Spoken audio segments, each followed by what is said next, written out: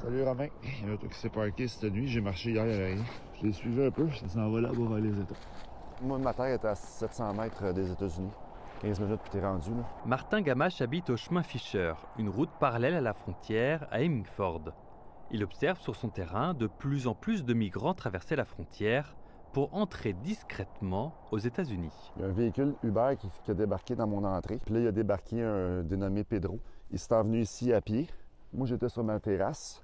Puis il y a deux Mexicains euh, qui ont sorti du bois. Le Pedro, avec son petit sac à dos, est allé les rejoindre à pied. Martin a même accueilli chez lui une famille visiblement perdue et sans ressources. Euh, il avait les pieds complètement mouillés, gelés. Il faisait moins 25 dehors. Il était complètement euh, congelé. là.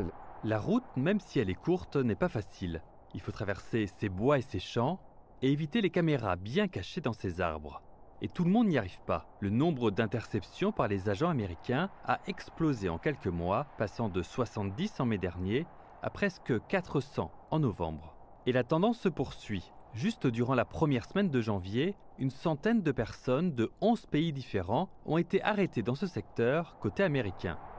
Cette hausse fulgurante, Hélène la voit depuis sa fenêtre. Un matin, je me faisais un café et il y avait une dame qui passait à pied, au teint foncé, avec un enfant. Dans ce coin, au bord de la route, il y a des cache-coups, des peluches accrochées aux arbres et même des valises, visiblement pour montrer le chemin à prendre. C'est pas prudent d'entrer dans la forêt ici. Ce sont des forêts qui ont vécu le verglas. Il y a plein d'arbres par terre partout. C'est vraiment dangereux. L'autre côté existe. On va peut-être en parler un peu plus parce qu'il y a un homme qui est mort. Le corps de Fritznel Richard a été retrouvé ici le 4 janvier, dans ce boisé, à quelques centaines de mètres à peine du chemin Roxham. Il serait mort de froid après s'être perdu durant la tempête qu'a connue le Québec à la fin décembre.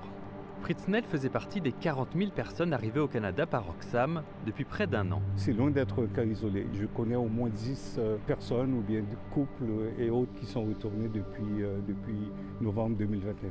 Franz André aide les demandeurs d'asile depuis plusieurs années. Le rêve canadien serait malheureusement devenu parfois un mirage.